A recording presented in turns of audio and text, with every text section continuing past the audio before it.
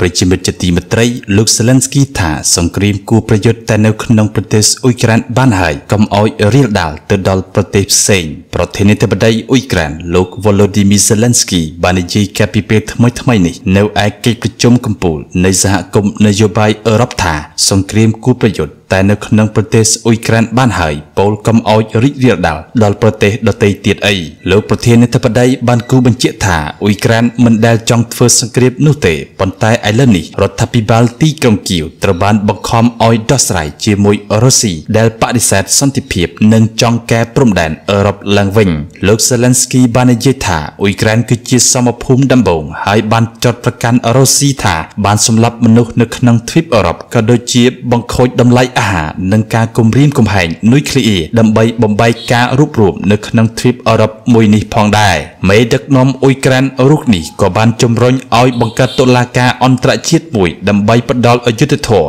សម្រាប់ឧក្រិដ្ឋកម្មសង្គ្រាមនិងឲ្យរុស្ស៊ីសងសំណងសង្គ្រាមផងដែរហើយបានសង្កត់ធ្ងន់ថាសង្គ្រាមគួរតែឈ្នះចាញ់នៅអ៊ុយក្រែនដើម្បីកុំឲ្យមានការវាយប្រហារប្រទេសដទៃទៀតគូបញ្ជាក់ថាកិច្ចប្រជុំដែលបានរៀបចំនៅក្នុងរដ្ឋធានី Bracko នៃសាធារណរដ្ឋឆែកមានការចូលរួមពីមេដឹកនាំមកពី44ប្រទេសនៅក្នុងនោះមានសមាជិកសហភាពអឺរ៉ុបទាំង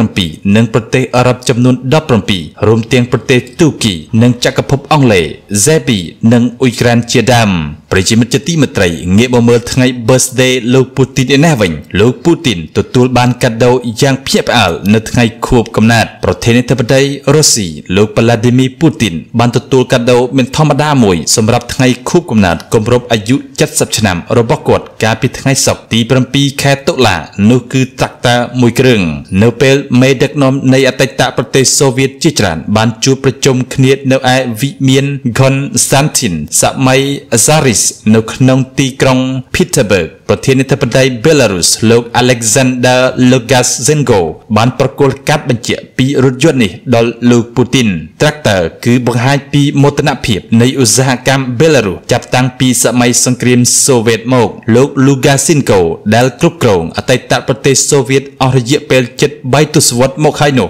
បានប្រាប់នាយកសារព័ត៌មានថា Tractor ដែលគាត់ឲ្យលោកពូទីនគឺស្រដៀងគ្នាទៅនឹង Tractor ដែលគាត់មាននៅក្នុងសួនច្បាររបស់គាត់ទោះបីជាយ៉ាងណាក៏ដោយលោកពូទីនមិនបានលើកឡើងកាដូនេះនៅក្នុងសន្ទរកថាតាមទូរទស្សន៍ទេនៅពេលគាត់ចាប់ផ្ដើមកិច្ចប្រជុំប្រជាមិត្តជាទីមេត្រីទាក់ទងទៅនឹងព័ត៌មានអន្តរជាតិនេះក៏ត្រូវបានបញ្ចប់តែមុននឹងបញ្ចប់ក៏សូមខន្តីអភ័យទោសក្រែងលោមានពាក្យពេចន៍លឹះលួសខ្វះខាតដោយប្រការណាមួយសូមប្រជាមិត្តអធិស្ឋានហើយក៏សូមជួយចុច like និង subscribe ដើម្បីទទួលបានវីដេអូថ្មីៗបន្ថែមទៀតជួបគ្នានៅពេលក្រោយសូមអរគុណនិងសូមជម្រាបលា que